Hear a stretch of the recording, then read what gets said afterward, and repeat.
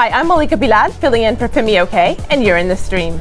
Today, kidnapped, smuggled across borders, and sold into forced labor. This is the reality for millions of children around the world. We speak with a survivor.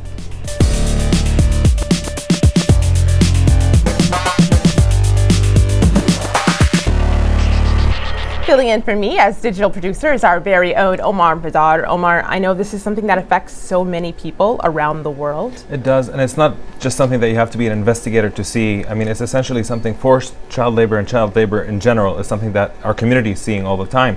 If you take a look at my screen here, Ghulam from Pakistan says, yes, from department stores to an auto mechanic shop, majority of parents forcefully involve their kids in this. We have Yaya here from Nigeria who says, yes, it is all over the place here. It seems like a traditional thing and it's deeply rooted. Then we have this tweet from the US also. One day, one tweet says that during his visit to West Africa and Benin, he says plenty of children are working on site construction for private homes. Of course, we want to know why this is happening and what can be done to stop it. So we want to hear from our community online. Be sure to tweet in using the hashtag AJStream and we'll get to your feedback. Without any hope of returning home, more than 5 million children around the world have been trafficked into forced labor. That's according to the International Labor Organization. In conflict zones, children are especially at risk of being sold to armed groups, often to participate in military conflict. In some instances, the child is peddled by their own family for money or to pay off a debt, as most of the victims come from poor or marginalized communities. Often the children end up in sweatshops working for little or no pay, making many of the products we use daily. With July 30th marking the first ever day of trafficking in persons, what can put an end to the forced labor of children? Joining us to discuss this via Skype from Olympia, Washington is Rani Hong, a survivor of child trafficking and one of the world's leading voices in the fight against modern day slavery. I'd like to start on my computer with a definition. This is from the International Labor Organization of Forced Labor. It refers to situations in which persons are coerced to work through the use of violence or intimidation, or by more subtle means, such as accumulated debt, retention of identity papers, or threats of denunciation to immigration authorities. Well, Rani, it's one thing to see a definition on the screen, it's another thing entirely to have it happen to you. Can you take us back, if you will, to the seven year old version of yourself? How did it feel to be taken from your home in Kerala, India? You know, I was, uh, yes, born in southern part of India. And at the age of seven is when a friend of uh, the family said, Hey, I can help this one child, give her a better education, give her food, and everything seemed to be just perfect. But in reality, so I went to this one location, and in reality, this woman who was running this shelter like was uh, in the business of selling children. She then sold, as a seven year old child, I was crying for my mom. Uh, but what happened is she sold me into slavery across the state border to where I did not know anybody. I didn't know the language. I was disoriented, and everything was unfamiliar to me. So, as a seven, can you imagine? Many of us in the audience have seven year old little girls and we need to do everything we can to protect them. So in my case, I became so they my broker put me as destitute and dying because of the beatings and torture and the abuse that he did. So what he did uh, for final is that he sold me for international adoption into Canada, Canada into the United States. We're talking about an illegal business, selling people for a profit. And Rani, you mentioned uh, the time when you left. You said your broker. Uh, you said so matter of fact, but I want to show a picture of how old you were at that time. This is the eight-year-old version of you. You can see the scabs, the marks on your legs, on your skin. Uh, how did it feel? Can, can you remember the thoughts that ran through your head uh, as an eight-year-old? You know, as an eight-year-old little girl, I could not understand what was happening. I mean, I was taught to trust adults, uh, to obey adults. Did you trust the woman who came to your house in the I, first place? I did because this is what happens in the trafficking industry. Somebody comes up and acts like they are the answer to the world. They pretend to have everything that you need in your time of vulnerability. And so in my case, I absolutely trusted this woman. In fact, she gave me candy. So what eight-year-old child would not um, trust somebody in the neighborhood who was being kind to her. but what we know today, this is a tactic that traffickers and recruiters use every single day. And in my case, this woman was the recruiter who was actually getting the ownership of the child so she can sell that child. And basically, she ruined my life. Rani, just to follow up on that, essentially to give the audience a better sense of what actually, you know, how this interaction happens between these traffickers and the parents. Kenneth here asks online, says, what promises or rewards did the traffickers say to convince your parents to essentially give you up? Can you tell us a little bit more about how that process goes down? Okay, absolutely. This is, so we're talking about vulnerability. So in my case, this woman just promised and said, I will do everything um, in my power to help your family. Uh, let me help one of your children. So she gave false um, promises of said, you know, from food. They didn't feed me. You can tell by that picture.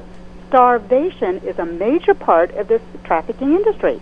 She, this woman, promised me that I would have the best life, and that was a false statement, and that is a, taking advantage of someone um, in their vulnerability because people watching this are going to want to know what they can do. I just want to give our, our viewers uh, an idea of the scope of this. So on my laptop, I pulled up, this is a map. This is productsofslavery.org, um, and, and this was done in conjunction uh, with your organization, uh, Aiden. Uh, this shows um, the products that are made using child labor or forced labor. I'm hovering here. This is India. 18 different products come out of India. They range from locks, leather goods, uh, gems, garments. This is something that affects so many of us, Rani. Even the clothes that I'm wearing today, many of them cotton, picked by young hands that probably shouldn't be out in the fields picking them. I know that I'm complicit in it, but what do I do? Yeah, you know, and this is a question because a lot of times we, much of the public, believe, oh, slavery doesn't affect my life. Well, that's a misconception because we know we can see forced labor in the products that we use every day.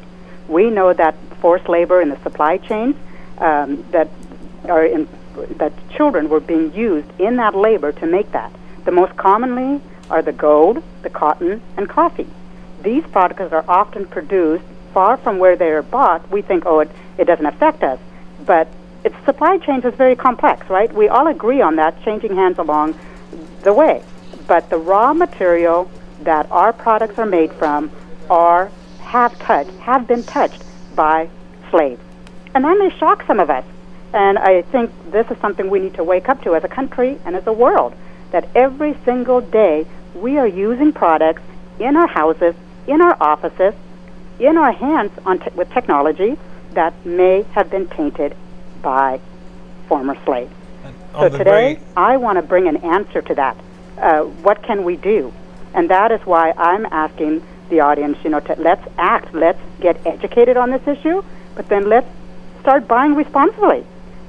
Be buy things from companies that are being responsible and that are being ethically sourced, so we are assured that if that company who makes our clothing, the shoes that I wear, the shoes you, everyone on this floor, it is that it is not being tainted by slavery. I want companies, I, I want these major corporations to take a stand and make a commitment to myself and to the millions of victims who have been in forced labor.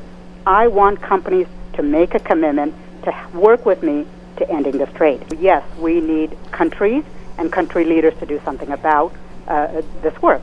So in October of this last year, I went before the UN General Assembly and I brought this to their attention. And I said I needed these countries to, to implement the laws that prevent, you know, to prevent forced labor.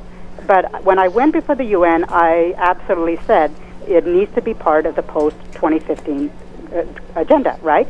They, at this point, they're looking at what can they do to um, put this in their agenda, and I asked them, this is a must. And so I also offered them my three-point plan to eradicating slavery. And one of that way is by my uh, Freedom Seal. We, uh, the Tronie Foundation, uh, wanted to give something to companies and so they can earn, I mean, so they got to apply for our seal and say, and commit to us ending slavery.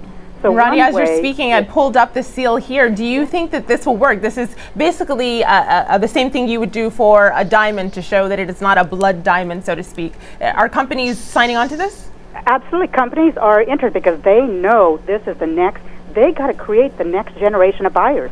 And today, our millennial generation is going to demand that these companies take a social responsibility, be socially conscious in their products, and the way the products are made in their supply chain. So I believe this is going to be one of the fundamental, uh, pr- you know, principles mm-hmm. that are really going to change the way we look at forced labor. It is difficult, and that's where we're going to have to pick up in the post show because that's all the time we have for the main show. Welcome to the Streams online post show. We're continuing our discussion on children trafficked into forced labor. Still with us, Rani Hong, a survivor of child trafficking. Omar, the community has lots to say about this, I know. They're actually talking about the rehabilitation angle of all this. We have Rachel here who tweeted in to Rani asking her, in terms of agency, did you feel that aid agencies treated you more as a victim or a survivor? So she's kind of asking about the empowerment aspect of it. We also have a video comment here from India. Take a listen to this. The rescue of child labor is meaningless without comprehensive rehabilitation. Rehabilitation of re children rescued should be educational, psychosocial, medical, and it must end in reintegration into mainstream uh, society. So, Rani, can you talk a little bit about the importance of rehabilitation for children who have undergone forced labor? Absolutely. You know, I think this is one of the top priorities we should have because as a former victim, I was so traumatized, so beaten to the point that I looked destitute and dying. I mean, this is going to. So I needed to, uh, you know, people to work with me to rehabilitate me to bring me back to like life. I stopped talking for uh, for a while. I stopped walking. I just simply couldn't function because of the abuse by somebody else who exploited me.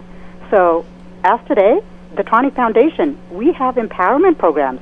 We realize there's a huge need to rehabilitate former victims as myself and as my and my husband.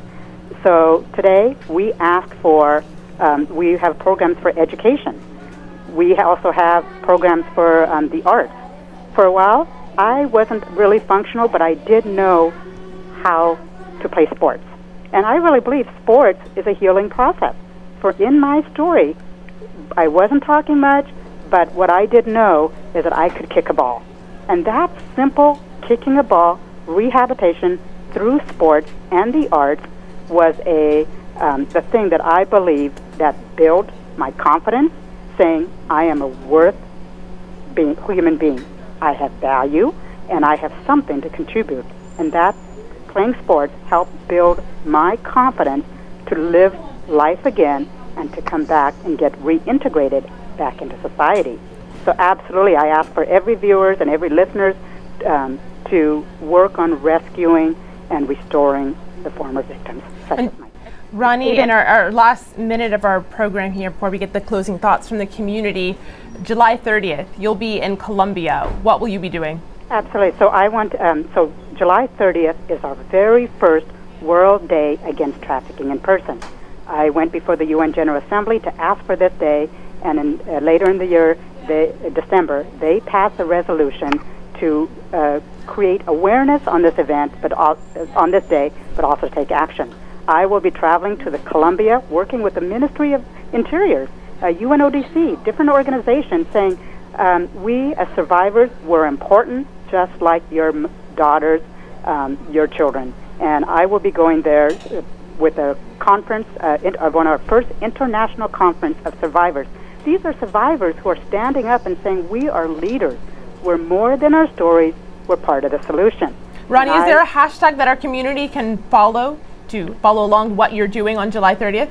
Absolutely. Please follow um, I, I Give Hope campaign.